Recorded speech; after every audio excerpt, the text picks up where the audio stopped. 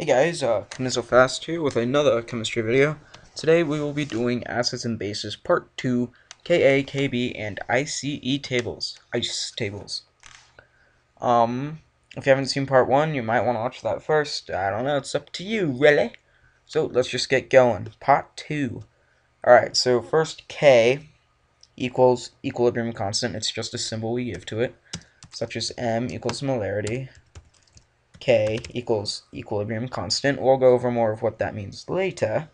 And by later, I mean like 20 seconds. Ka is the equilibrium constant for a weak acid. Oh, acid. A. Oh, see that? for once something makes sense in chemistry, right? And anyway, Kb is equilibrium constant for a weak base. Yeah, boom, B, B, A, A. And the main purpose of Ka and Kb is to find H plus concentration or OH minus, depending on if it's an acid or a base.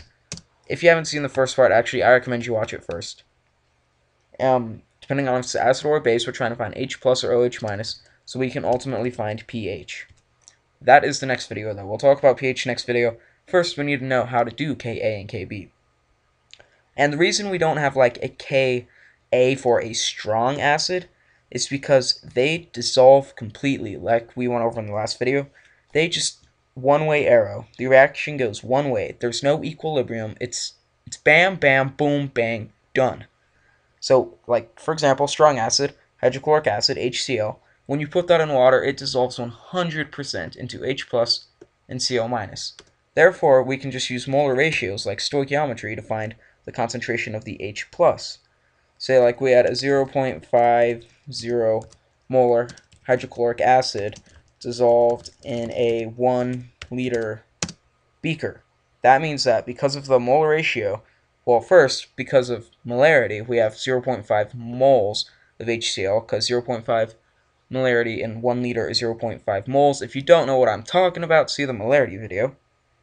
And then using the molar ratio, because it's just one way it 100% goes, we can just say, okay, that means there's 0.50 moles of H plus in the solution, and we already have the concentration right there. That's all you need to do for strong acids. Easy. Weak acids, not as easy, because they don't dissociate completely, and we need to find the degree to which they don't dissociate, which is essentially what Ka is. It's how much of the amount of weak acid you put in a beaker of water will actually split up and at what point at equilibrium, you know, we went over that last time. So it's a, the point where equilibrium will happen, essentially. Good? Is that clear? I know that was a lot to take in, but I hope so. Moving on.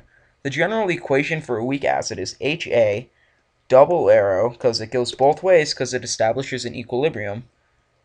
HA, H plus plus A minus, where A is obviously not an element, because it's the general equation, well, it's an element, but I mean, it's not like a specific element. It's just representing any element. If that made sense. Like, there's no A element. There's no apple element. It's just a general thing to say any element. For example, like here, HF. Oh, it's going to do that stupid arrow thing. Oh my gosh, I hate that. Don't you guys think those arrows are ugly? And then it doesn't even do it with the other one. That looks terrible. But anyway, H plus plus F minus. In this case, a is fluorine because it's just the general equation. Anyway, how do we find Ka from this general equation? Ka is concentration of H plus times concentration of A minus divided by concentration of HA. These brackets mean concentration, and concentration is molarity. Like I said, check out the molarity video if you don't know what's up with molarity. Okay, let's just do an example problem of setting up Ka, which shouldn't be too hard. A solution of hydrofluoric acid is prepared. Write the acid ionization expression, Ka. So the equation would be HF double arrow H plus plus F minus. And the Ka expression would then be H plus times F minus over HF concentration. Cool. Now, how do we actually find what to put here instead of just letters. We actually need to find numbers. Whoa! Ice tables. Ice, ice, baby. Dun dun dun dun dun dun. Down, down, down. Anyway, sorry. Vanilla ice, y'all. Initial change equilibrium. That is what ICE stands for. Initial change equilibrium. Boo ba da ba da bee Uh, it's as you may have inferred from the name ice tables. It's a table. I'll show you an example of one in a second that I made. First, though, how do you set it up? The very, very first thing you do is you need to write a balanced chemical equation. Then, you need to make some columns. I'll show you that in a sec. But first, write a balanced chemical equation. You know, I'll just do an example. HA, double arrow, H plus plus A minus. A sample consisting of 0.50 moles of HA is placed into a 1 liter beaker of water. At equilibrium, the sample of HA is known to be 0.350 moles. Calculate the Ka of the weak acid. So the Ka is H plus times A minus over HA. That is the expression. And now you set up the ice table. So as you can see here, I just made a little table with the balanced chemical equation over an up and down thingy, row, column. We're just going to call it the ups. So you write the balanced chemical equation, and for each compound or element in said equation, they get their own ups. So HA gets its own ups, H plus gets its own ups, and A minus gets its own ups. And then left and right, you're going to have three. You're going to have initial, change, and equilibrium. Cool. Step 2. Fill in the initials that the problem gives you. The problem will always give you an initial. So a sample consisting of 0, oh, there it is, 0.50 moles of HA is placed into 1 liter. Remember, these have to be in concentration. So in this case, it is, in fact, just 0.50 molarity because it's in a 1 liter beaker. So you just write that in, 0.50 molarity. And then that's the initial of the HA, because that's what the problem says. You have HA, you have like a powder, and you put it in water initially you're going to have 0 H plus because the reaction has not started yet. None of the HA has broken up into H plus and A minus. So H plus is going to be 0, and A minus initial is also going to be 0. Cool, that's one down already, just, just like that. Two more to go. Use molar ratio to put x in with the right coefficient in the change. And by that, I mean you got the balanced chemical equation up here. So the change, we're just going to use x because we don't know what the change is yet. So you just represent it with an x. So change here, you have HA, and you're going to lose some HA because it is dissolving to form H plus and A minus.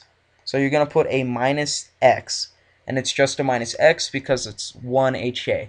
If it were 2 HA, it'd be minus 2X but it's just minus x, so put that in there. And then over here, you're going to be getting H plus as the reaction goes on. Initially, you had none of it because there was just none. All you had is HA. It didn't break up yet. And then when you put in the water, it breaks up into H plus and A minus. So you're going to get plus X amount of H plus because of the molar ratio, 1 to 1. And you're going to get plus X of A minus because of the molar ratio, 1 to 1. Okay, then use the data to given to fill in the equilibrium column. Let's go back to the problem.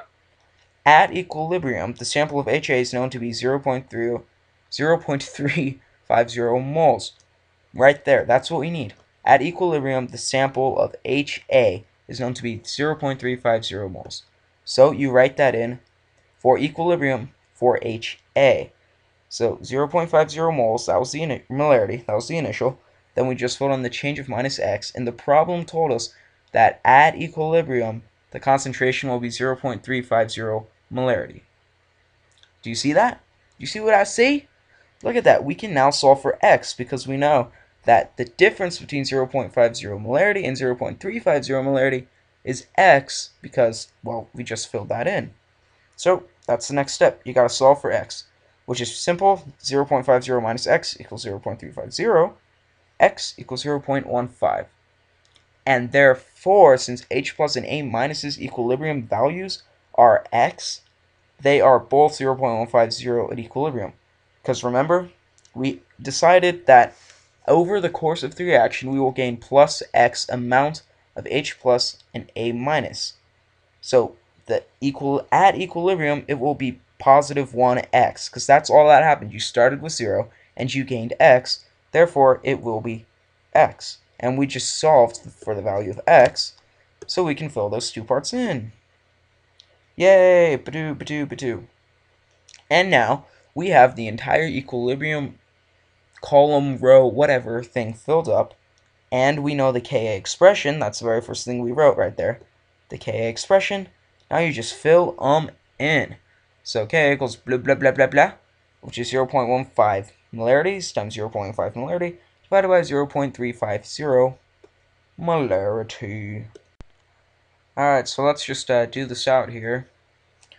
0.150 times equals whatever divided by 0.50 and the answer is 0.064 is our equilibrium constant is our Ka. Jeez, I'm tired of doing that problem. Ugh. So yeah, obviously, these are long and painful and not fun. But, you know, you do them. Actually, I kind of like them. As you just go and get better at them, you're just so quick at them. It's like boom, bang, bong, done. But they are they are long. And um, KB is the exact same way. I'm not gonna go through that again. Except the general equation, of course, it's not the same because it's a base, not an acid. It's BOH, double arrow B plus plus OH minus. All right, one more thing, then we're done with part two of part three. Then we're done with part two of a three-part topic. Well, I split into three parts. Yeah, anyway, KW. KW is the equilibrium constant of plain water. If you have a beaker of plain water, it's going to have the equilibrium equilibrium constant of KW. And KW is 1.0 times 10 to the minus 14. It's a given, it's a constant, we know it, we don't have to calculate it, it's there, it's proven, it's happy, just let it be. Let it be, Johnny. Don't die, Ponyboy. Stay golden, Ponyboy. Anyone know what I'm talking about? No? Just me who had to read that book? Okay, I kind of like that book. Anyway, back to chemistry. I'm all over the place.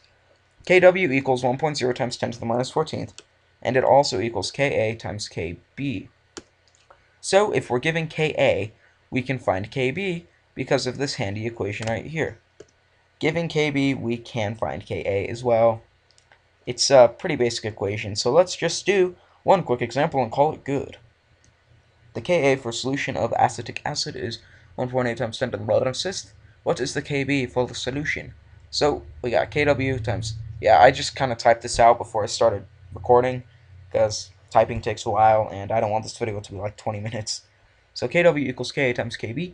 1.0 times 10 to the minus 14th is Kw, so we just substitute those out because they're the same thing this equals this, and then we put in the given Ka, which is that, times Kb, and you solve for Kb by just, you know, dividing, because if you divide, that isolates the Kb, and there's your answer. Just put that in your fancy calculator. I don't think this can do minuses. Yeah. Anyway, that's it for this video. If you like this video, share it with anybody you think needs help on the subject. If you have any questions, leave me a comment or visit my website. See you guys next time.